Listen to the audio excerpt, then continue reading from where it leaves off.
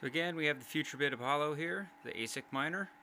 Uh, now we're running it on the balanced mode, so this is another pre-configured setting. So we have Eco, Balanced, and Turbo mode. It says it's 1.2 watts per megahash, so we're getting about 125 to 135 megahash out of this now on the balanced mode.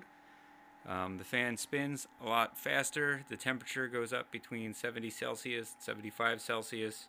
Uh, in eco mode, it stays between 60 and 70, so there's that difference, and the fan spins up a lot more often. Uh, again, have it plugged into an EVGA 450 power supply, and we'll go ahead and we'll see what the power draw is now. So, as you can see, it's about 100, 167. Um, on the balanced mode, it goes anywhere between 165, 170, roughly, as the fan spins up. So that's in balance mode.